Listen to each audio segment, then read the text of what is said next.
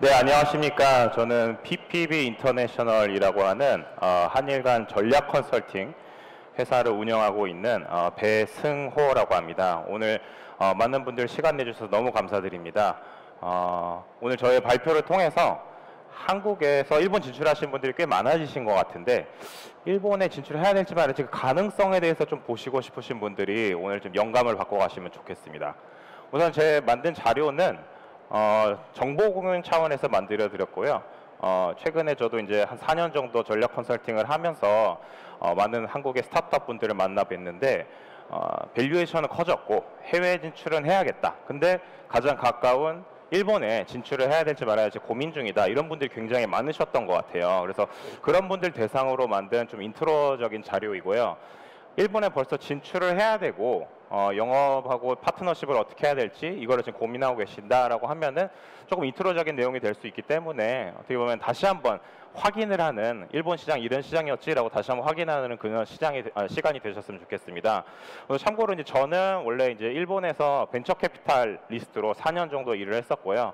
어, 투자 동향 같은 걸 계속 봤던 그런 사람입니다. 그래서 제가 보기에는 투자 시장에 대해서 어느 정도 알면은 한 3, 4년은 적어도 어떤 곳에 투자를 하면 좋고 어디에 비즈니스를 만들면 좋겠다라고 하는 것이 보이지 않을까라는 생각이 들어서 그런 부분에서 좀 오늘 참고를 하셨으면 좋겠습니다.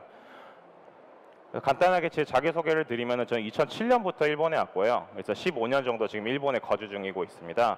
어, 제 전 직장은 말씀드린 것처럼 이제 본즈 인베스트먼트 그룹이라고 하는 일본의 시리즈 B를 이제 lead investor를 하는 그런 곳이었고요. ticket size가 한 50억 해서 한 100억 정도 됩니다. 그래서 일본 그 스타트업 에코시스템에 대해 잘 모르실 수 있을 것 같은데 참고로 일본의 그 이니셜이라고 하는 그 데이터베이스가 있는데 거기에 따르면은 한 355개 정도 되는 독립형 VC가 있고요. 그 안에서 한 40개 정도가 시리즈 B에 리드를 하는 곳입니다. 그래서 그 중에 한 곳에 제가 일을 했었고요. 어, 그래서 4년 전에는 이제 회사를 나와서 어, 제가 이제 일본에서 외국인으로서 VC로서 경영자로서 했던 그런 어, 어려움 그런 거 실수를 어, 많은 일본에서 한국 한국에서 일본 진출하신 분들이 안 했으면 좋겠다라는 그런 마음에서 전략 컨설팅 회사를 어, 차렸고 어, 지금은 혼자서 하는 건 아니고 저와 같이 이제 뭐 맥킨지 출신 그리고 VC 출신 그리고 교토대학교의 이제 data scientist로 원래 일했던 사람들 어, 해서 총 여섯 명이서 어, 근무를 하고 있습니다. 뭐 기본적으로 영어랑 일본어가 다 되는 사람들이고요. 그래서 뭐 작지만은 어, 글로벌한 그런 회사입니다. 라고 제가 말씀드릴 수 있을 것 같습니다.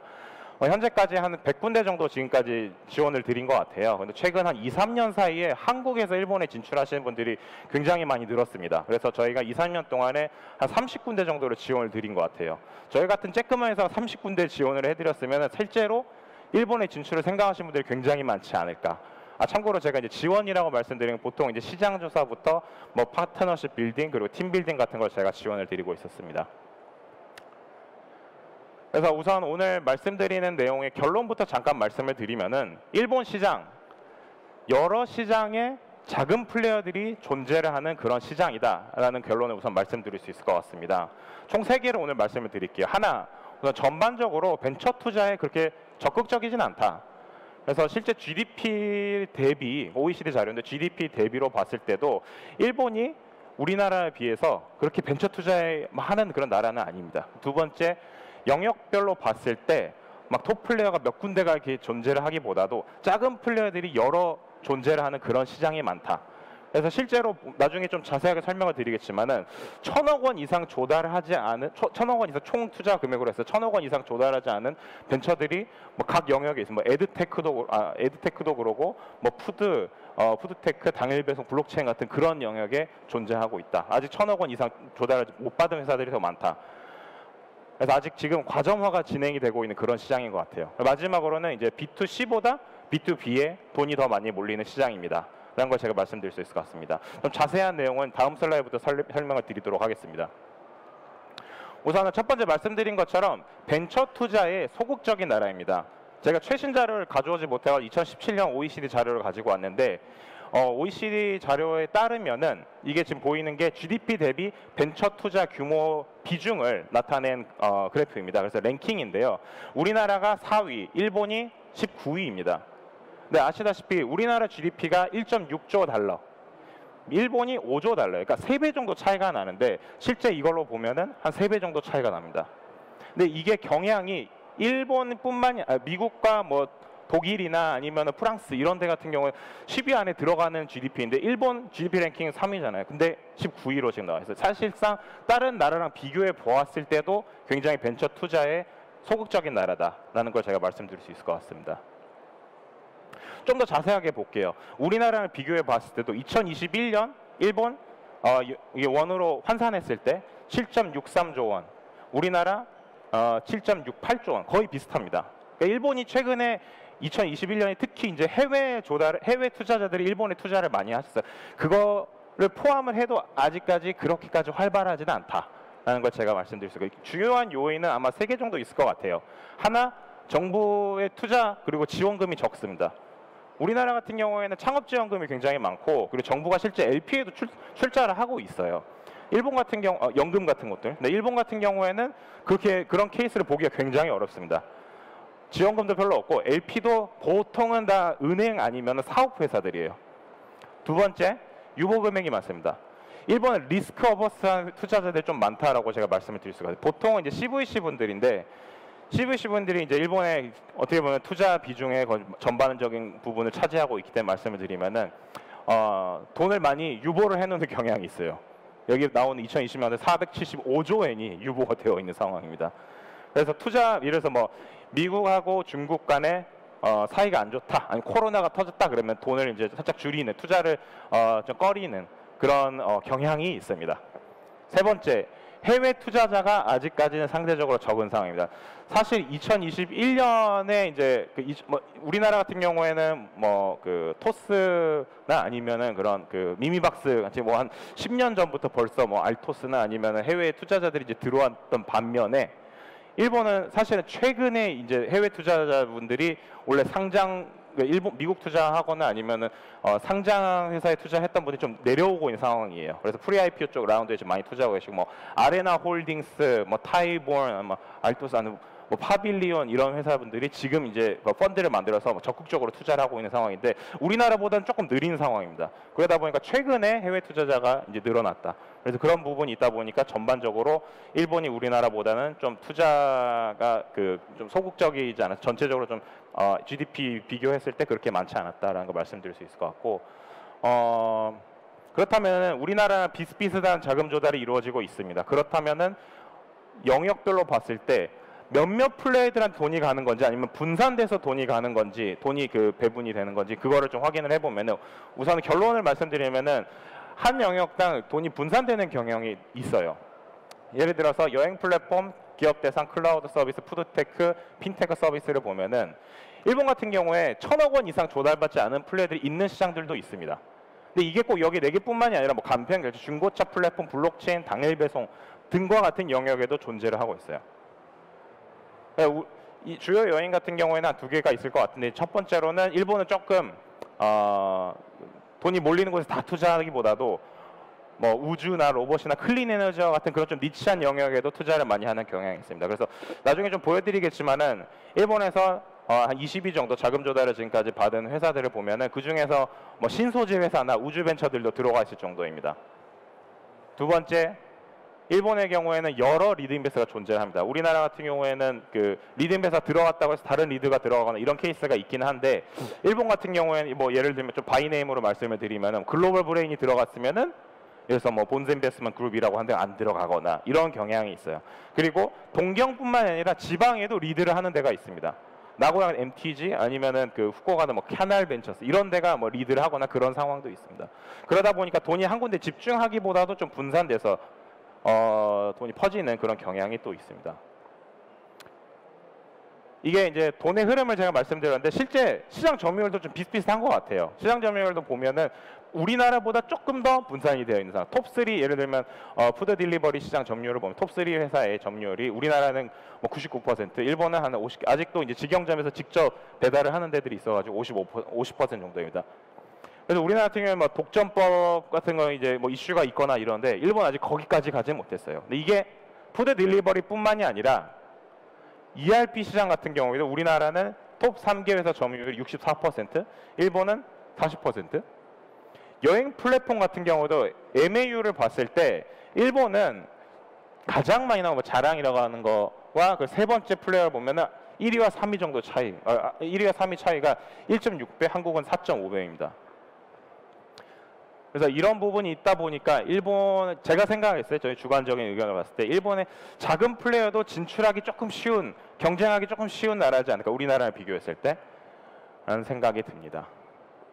여기까지 이제 돈이 어떻게 어, 어떤 플레이어들한테 가냐를 말씀드렸는데 그 어떤 영역에 돈이 흘러가냐를 말씀을 드리면은 B2B에 더 많이 돈이 B2C보다. 그래서 여기 같은 경우에 이제 저희 우리나라의 총 투자 유치 금액 톱 20를 나타낸 거고 이쪽은 이제 총 투자 유치 금액 톱 20의 일본을 나타낸 건데 보시다시피 우리나라 같은 경우에는 B2C 그래서 보시면은 그냥 벤처 관심 없는 그런 분들도 대충 어디서 들어보셨던 서비스들이 많으실 거예요. 근데 일본 같은 경우에 보시면은 어 예를 들면 우주 잔해물 제거 기술 기업인 뭐 아스트로 스케일 홀딩스 뭐 들어보 아마 이거는 벤처 업계에 있으신 분들도 모르시는 분들이 있으실 거예요. 아니면은 뭐 소형사 위성 개발 주식회사 신스 어, 신스펙티브라고 하는 그런 회사들 B2B가 굉장히 많습니다. 그래서 이거 이외에도 사실 뭐 일본 같은 경우에 뭐 ERP 시스템이나 아니면 어 회계 노무 시스템이 아니면 IoT 뭐 메디칼 이런 쪽에 굉장히 투자가 많이 이루어지는 어 양상이 있습니다. 실제 좀 숫자로 봐도 어 이게 뭘 나타내 톱 각 영역별 톱 30개 회사의 총 누적 자금 조달액을 제가 합계 합산해서 나타낸 건데 이제 B2C죠. 그래서 우리나라 같은 경우에는 어, 뭐 여행 플랫폼은 3.8조, 그 야놀자 여기어때, 뭐 이런 player들이 존재하시는 반면에 아직 일본 같은 경우에는 뭐 0.44조 원으로 전체적으로 몰리는 금액이 작습니다. 그게 이제 컨텐츠 플랫폼, 뷰티 플랫폼, ed, edtech 에 그렇게 어, 있습니다. 그래서 일본 같은 경우 사실 이제 B2C보다도 아까 말씀드린 것처럼 뭐 ERP나 노무회계 이쪽에 더 많이 투자를 하는 경향이 있어요. 이런 게 있다 보니까 어, 뭐 꼭 이런 이유만 있지 않겠지만은 이제 B2C의 서비스들을 보면 좀 quality나 아니면 digital transformation의 rate가 좀 느린 감은 있습니다. 예를 들어서 여행 쪽을 제가 참고로 저는 이제 일본의 가부크 스타일이라고 하는 어, 여행 플랫폼에 어, 일본 한국 진출을 제가 지원을 드리고 있는데 어, 그래서 여행 쪽에 이제 제가 시장 조사를 많이 한 경험이 있습니다. 보면은 아직도 종이 팩스가 main인 문화예요. 그래서 뭐 브랜드 호텔, 뭐 하얏트, 메리어트, 프린스 호텔 이런 데 가면은 물론 이제 어느 정도 DX 된 것이 있긴 하겠지만은 지방에 가면은 거의 다 종이와 팩스입니다. 놀라실 거예요, 아마. 두 번째, 여, 호텔 예약 관리 서비스 PMS가 아직도 on-premise인 데가 많습니다.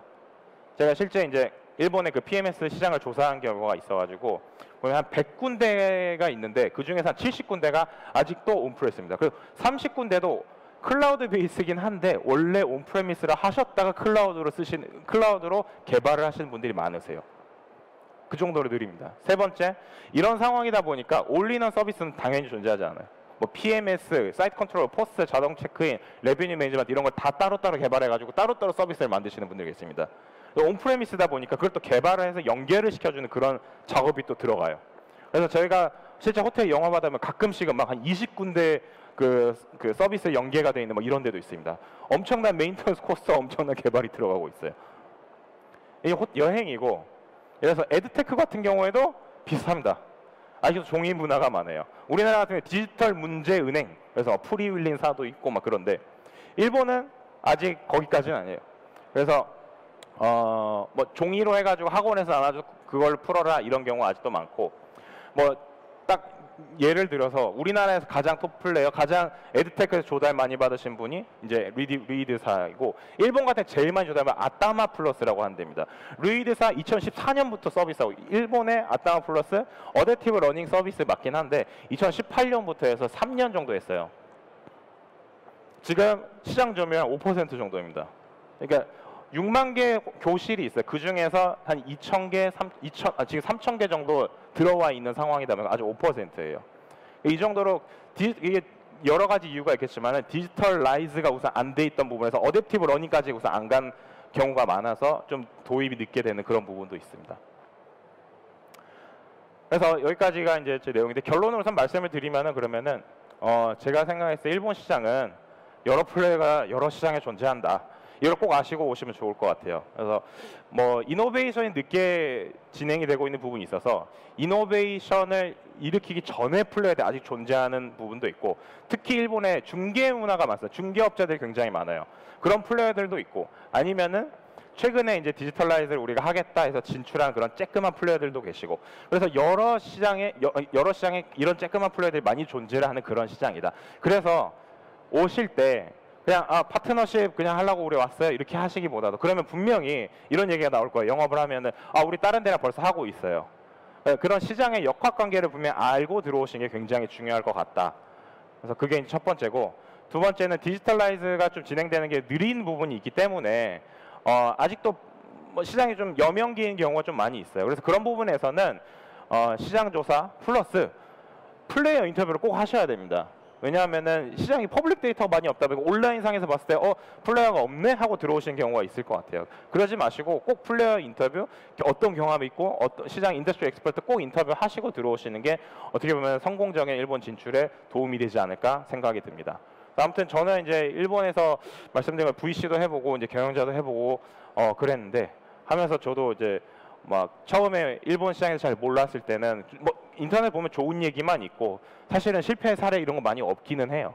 그래서 어 많이 이제 시행착오도 있긴 했는데 어 이제 한국에서 일본 진출하시는 분들은 이번에 이제 어떻게 보면은 제가 봤을 때는 또 second 일본 진출 붐이 있지 않을까 2000년대 이후로 있지 않을까라는 생각이 드는데 오셔가지고 좀 성공적으로 제가 했던 그런 실수를 안 하시고 진출을 하시는 분들이 계시면 좋겠지 않을까. 그래서 제 얘기를 꼭 포지션 토크로만 듣지 않으시고 어 진짜 어 오셔가지고 성공을 하셨으면 좋겠습니다. 네 아무튼 오늘 제 강의 들어주셔서 감사드리고 네 어, 감사합니다.